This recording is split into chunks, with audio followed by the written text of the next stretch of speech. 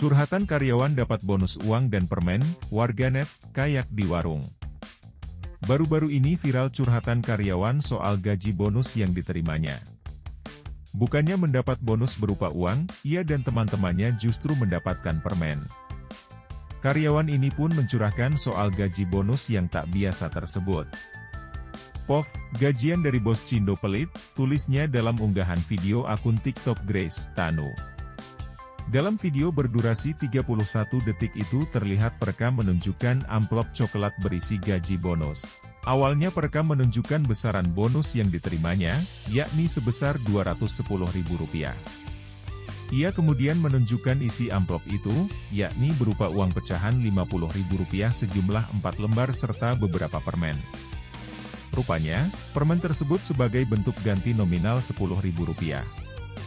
Tak hanya dirinya, rupanya rekan-rekannya juga mendapat hal yang sama.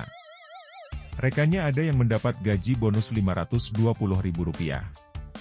Sementara isi amplopnya yakni pecahan uang Rp100.000 5 lembar dan sejumlah permen. Permen tersebut untuk mengganti nominal pecahan Rp20.000. Bahkan, parahnya lagi, ada temannya yang mendapat bonus Rp1.680.000, namun uang Rp80.000-nya justru diganti permen. Mereka pun kompak tertawa dan meluapkan kekesalan mereka karena ulah bos mereka yang pelit. Sontak saja, unggahan tersebut pun langsung ramai komentar dari warganet.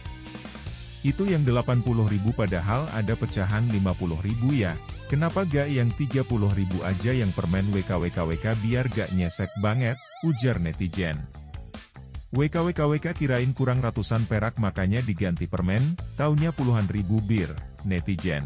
Kan kan gue dapat bonus kan dari bos gue 210 ribu Ini 200 10 ribu ya permen aja Gua gua. Gua udah ada gua 520.